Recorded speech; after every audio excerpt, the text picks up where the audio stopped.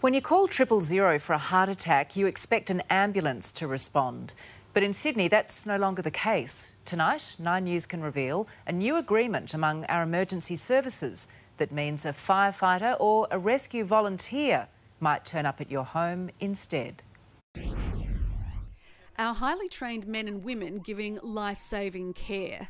Like many, Jason Cacaldi has a decade's experience under his belt, but if you call triple zero, you may not get him or any of his colleagues.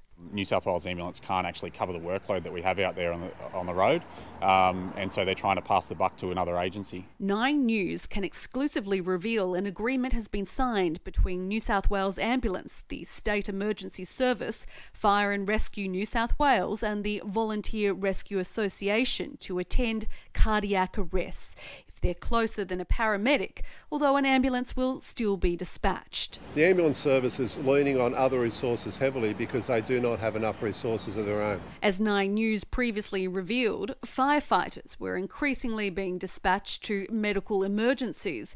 New data now shows a spike, with Fire and Rescue New South Wales receiving 4,879 calls for ambulance assistance in the past financial year.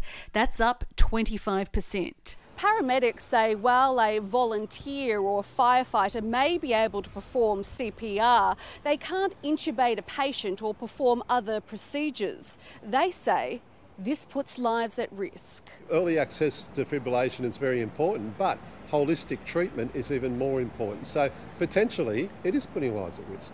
New South Wales Ambulance failed to address those concerns today. The sooner we can get someone to put hands on chest and a defibrillator on them, the sooner we might save a life. Airlie Walsh, 9 News.